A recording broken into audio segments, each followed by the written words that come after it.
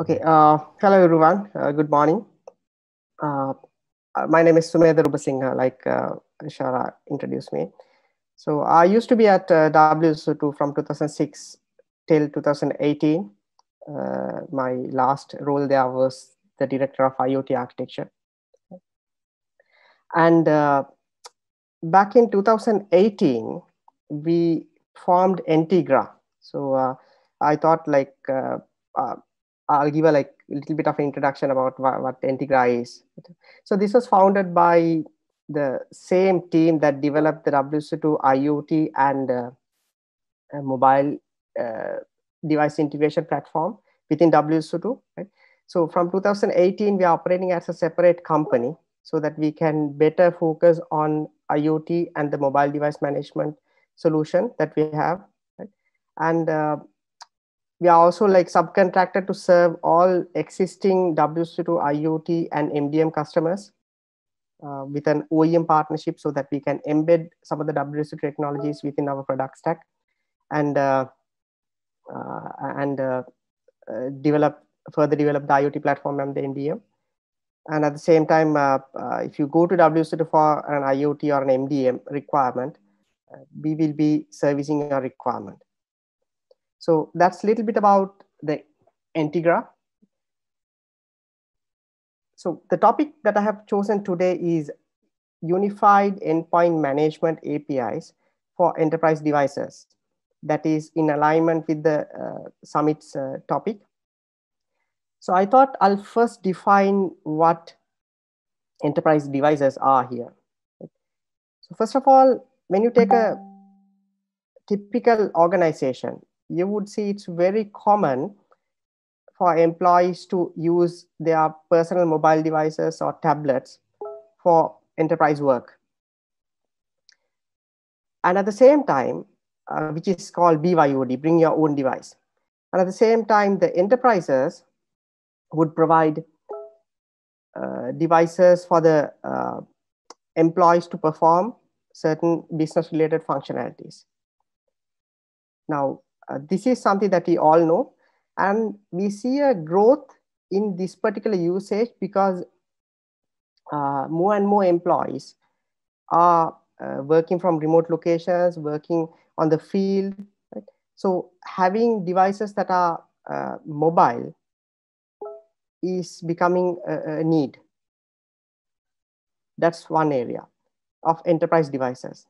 The second area of enterprise devices is the standard uh, IoT devices that we see.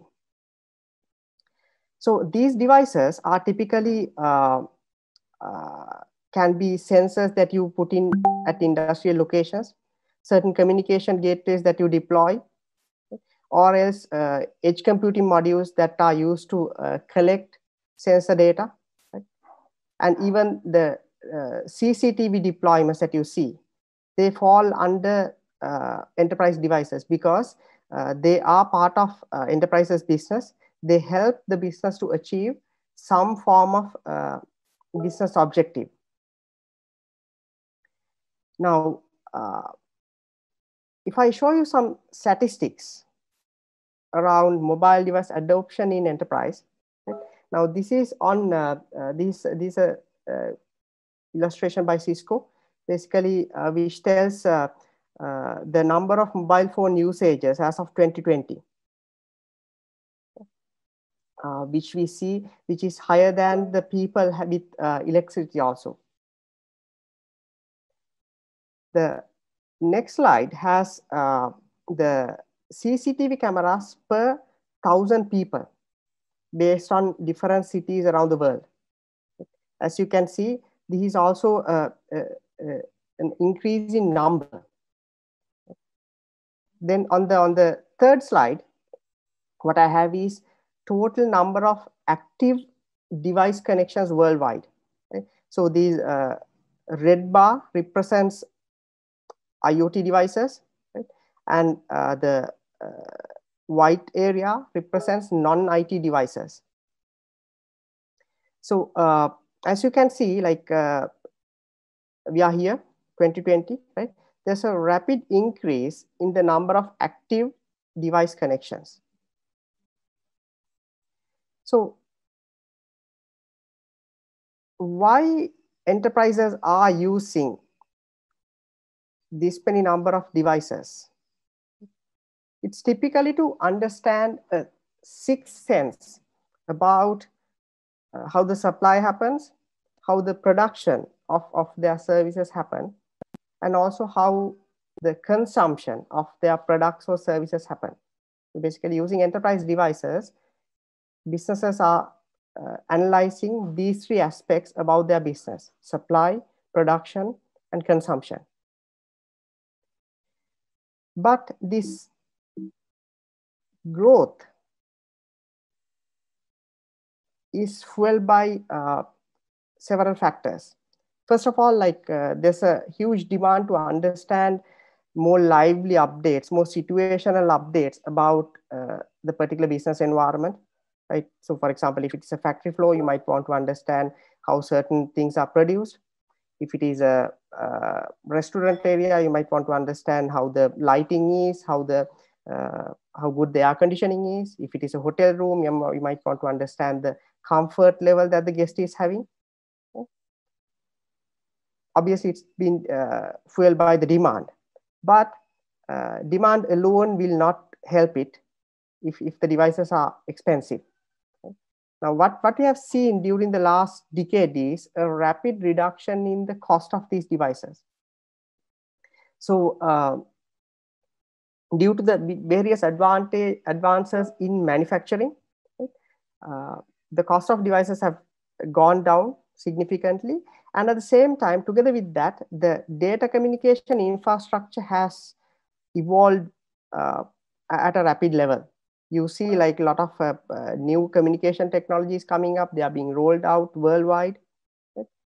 And most of the communication infrastructures are also allowing the bandwidth at an affordable cost so that you can place devices connect them and have the data communication happening uh, at an affordable level. And with this particular uh, setup in, in picture, there are ample set of software platforms coming up that hel helps you to connect these devices and develop applications for to serve different needs of the enterprise. And uh, there's a different movement to standardize some of the uh, device communication so that uh, more and more frameworks, more and more uh, developers are interested in developing applications against those standards so that they can work with heterogeneous de devices from different vendors. Now, this particular situation creates an explosion of device endpoints within an enterprise.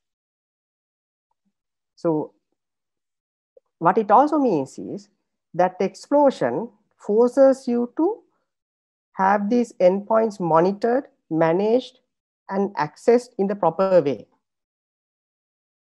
As more and more businesses depend on these endpoints and develop their applications around these device endpoints, it becomes critical that each of these endpoints are functioning properly.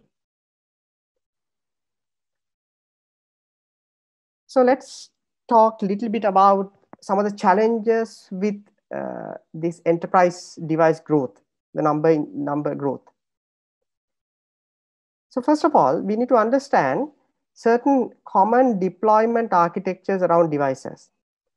So uh, there are uh, certain type of devices that are intelligent and, and uh, communicable. So typically these type of devices have direct communication interfaces into the cloud infrastructure. So uh, uh, they have their own either uh, SIM or they are capable of connecting to a Wi-Fi network or a separate radio network. Typically, these devices are very expensive because they have a lot more functionality. And the second type of devices are uh, they are using uh, they are typically sensors connecting to a common communication gateway to do communication to the server side that will do bulk of the data processing. That's the second architecture pattern that we see. And, and between the sensors and the communication gateway, typically this is within a uh, close proximity so that uh, uh, there are several local protocols that come into play. Then the third common type that we see is devices connecting to uh, an edge computing gateway that will do some processing on the data and then uh, uh, only push the processed data into a cloud platform for, for the further processing. Uh, there are uh, different sub patterns, but uh, these are uh, common patterns at a high level. Now, uh, this deployment pattern patterns together with the number of uh, devices creates a huge number of challenges to the enterprise, enterprise to manage. So we spoke about heterogeneous deployment architectures but what it also means is with that particular deployment architecture, the traditional corporate network boundary is now getting expanded. Previously, you could be uh, having all your devices that your business requires within your premises or within your factory premises. But now what it means is if you are shipping out a particular sensor with the product that you're producing, and if it goes to the consumer's uh, home or like consumer's location. What it means is now there's a sensor connecting to your network from a remote location. Same case, uh, if you're having a, a, corporate office somewhere and your factories uh, uh, at different locations and you deploy a sensor network to understand how your factories are performing, how the supply, production, and consumption happens. Now, uh, your network is now expanded, which means the, uh, the network admins now have to worry about that those devices are uh, connected properly. They have proper connectivity because your business now relies on it. And at the same time, uh, uh you have to determine this ac functional accuracy coming out of the device because your business functionalities and logic is depending on top of it. And since the devices are rogue, uh, sorry, devices are uh, at remote locations, there can be situations, uh, some devices going rogue. So this is something that you need to detect right, uh, as part of your uh, end device endpoint management. And since the devices typically come in large numbers, and typically these devices would have either a human owner or a human operator, right? You also need to worry about identity and access management for these devices. So when we hear about IAM, typically we talk about uh, humans only? But it's a it's a problem that is applicable for the devices as well, and it usually comes in large numbers compared to the human identity access management problem. And uh, once we have remote device deployments,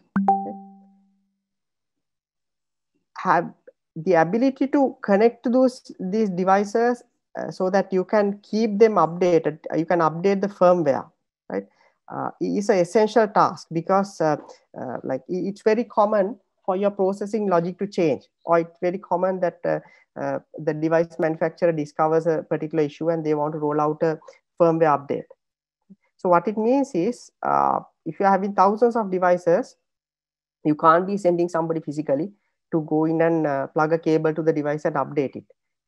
Your uh, enterprise network now should have functionality to uh, roll out a firmware update, right? And also schedule it so that it will not disrupt the normal operations. Then once you have the devices working, you need to have uh, standard integration application development interfaces so that your developers can uh, make use of these devices and develop things that will be useful for the enterprise. And of course, like uh, before devices come into the picture, uh, the device uh, picture of, of a proper installation, it goes through several other phases, which uh, we are going to talk here. So a typical device goes through uh, several phases. So first of all, it, it is getting manufactured at a factory uh, we call it device manufacturing uh, on this slide. Right? then uh, typically once a device is manufactured, it goes into a, a, testing phase within the within the factory premises or within the manufacturing manufacturer's premises so that they know it's working. Uh, sometimes you may have seen uh, certain stickers called QC uh, on devices, which tells that it has gone through quality control called or quality checks. And then once the device is uh, ready to be sold, right, it goes into so there are different phases where it is sold in sold to a customer so that uh, from the CR, crm from the sales uh, system uh, it gets allocated to a particular customer so that it no longer is available for a, another sale right? and then uh, it gets delivered uh, so uh, it can be on the road for like several days or like weeks right? and then the device gets installed so typically when the device gets installed the the the operators, uh, the the servicemen, right, will do certain quick checks to make sure that the installation is done. Uh, so we typically call that installation verification. So once the device is properly installed, it goes into uh, the production, right? Where within the production, it can be performing normally, it can go into unreachable stage, it can be uh, producing degradable results or going rogue. Okay? Now, uh, that's a those are critical set of uh, life cycle stages within the production. Sub life cycle stages i would say. Now uh, typically a device would spend most of its lifetime under production stage okay? and time to time it may go into uh, the life cycle state of uh, being uh, listed out for firmware updates. And also when if it becomes faulty getting into a situation where maintenance is required or uh, uh, it is uh, going rogue. Somebody steals it. Somebody does some manipula manipulation and finally being discarded. Now in each of these phases there are different integration requirements. Okay? so this is where uh, the endpoints api endpoints come into the picture. Because uh, each of each of the device class or device type is unique right and uh, you can't expect an average programmer to understand all the protocols all the technicalities behind a device right? and be able to uh, uh, produce uh, application logic or soft, uh, software programs that can connect to those devices and produce some business functionality typically that particular skill set uh, is is it spans around a vast set of technological areas. So uh, the importance of having unified set of endpoints to represent devices, to represent different stages that, that a device goes through comes handy in this situation. So for example, in the situation of a device being manufactured, right, uh, typically uh, the manufacturing system would request uh, or the next serial ID to be embedded into the device. Or else it could be burning a MAC address that needs to go into the inventory system of the company's uh, uh, sales process so that they would know a new device with a new MAC address have been added in so that the inventory goes up. Uh, and typically with the with the devices, there's something called provisioning token or a certificate, a way of like authenticating a device when it is being installed. So those type of tokens and uh, certificates needs to be generated from a software system and should be obtained uh, via an API into the into the manufacturing system uh, so that it gets burnt into the ROM of the device. So for all of these, for all of these integrations to happen, uh, APIs are a critical factor. And once the device is uh, uh, like ready, it's manufactured, you, you typically would have uh, quality control, like I've said before. So what it would mean is like there will be testers who would be doing certain things on, on top of the device. And then they would have a separate testing application that would allow you to wipe off the device so that it can be factory resetted so that it can go into the customer, which is like uh, ready for sale or it will go into the warehouse. And it gets sold to a customer, then being delivered, right? And once it's installed, it's a typical device operation where device is now sensing or providing you ability to control the uh, business environment. and typically at that particular stage, like integration with warranty systems, uh, uh, activating a, a, digital twin type of uh, integrations will also happen with external systems.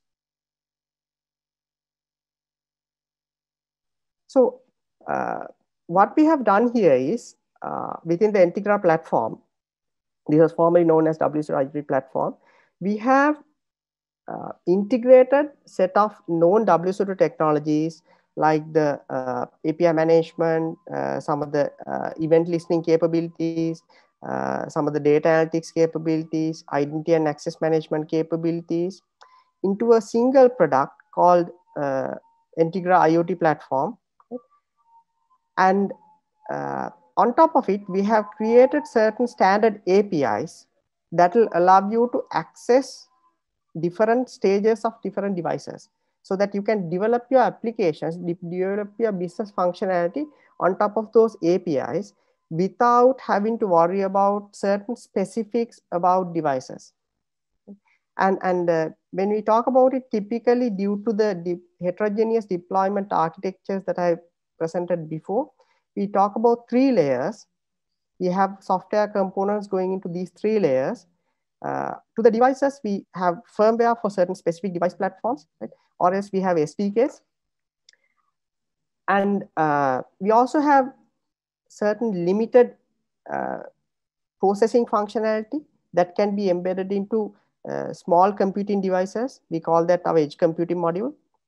And a fully blown uh, infrastructure, uh, uh, server-side software that can deal with the incoming events and then either expose them as APIs or put it into processing, analytics processing, or else create complicated integration scenarios while maintaining the access, uh, and access management uh, uh, scenarios intact. So uh, uh, I have a couple of screenshots to show what we have done. Now, for example, this is the uh, API management component running inside the IoT platform so that we can provide managed API endpoints for the devices. As you can see, like it's a fully blown API store with certain predefined APIs and uh, on top of these APIs, we have created our own device management console. Right? So uh, uh, if somebody wants to use the product uh, as it is without connecting to the APIs, they can have a uh, comprehensive set of device management functionalities to manage these unified endpoints through a single platform. So what it means is uh, you can have a single device management console for different types of devices coming from different vendors for your enterprise so that you don't have to go into different uh, applications to understand how one cluster of devices doing versus the other cluster of doing uh, devices doing and uh, for certain known device platforms like android ios windows linux we have uh, certain specific APIs that are dealing with uh, their specific nature. And at the same time, for uh, generic devices that you want to onboard, uh, we have a generic set of APIs that, for example, allows you to connect a device, uh, push an operation, understand wh what the device is going through. so there's a generic API for that. And also like uh, there are APIs for different stages of the device. If, if you want to search uh, for uh, all the onboarded devices, there are different device uh, API categories. And uh, the next most important thing is, uh, like I've mentioned, the firmware management. So there's a, a generic firmware management functionality that we have provided, a console and an API, so that you can write your extensions to deal with your type of device, device to uh, get firmware updates through uh, your own broker architecture. And then uh, there's a firmware store as well that you can customize uh, to, uh, to get the required functionality. And on top of this, the IoT platform, we have created a specific solution for managing mobile devices, the traditional mobile devices that you see, Android, iOS, Windows uh, type of mobile devices. So uh, it's a specific solution that is available if you are looking for managing the standard mobile devices only. and uh, more documentation is uh, details are available at the documentation. So uh, this brings us to the end of this session. Uh, we wanted to give you an overview of some of the uh, unified device management APIs that are available uh, within the Entgra IoT platform. So if you're interested in understanding how this can work for you because uh, typically IoT architectures are complicated uh, compared to uh, uh other systems. Uh, please drop us a, a, mail at contact at entgra.io and we would happy to understand your uh, requirement and, and propose a, a, POC and a high level solution architecture so that you can see how you can make use of our unified APIs to access your uh, heterogeneous device deployments uh, in a, in a uh, standard way.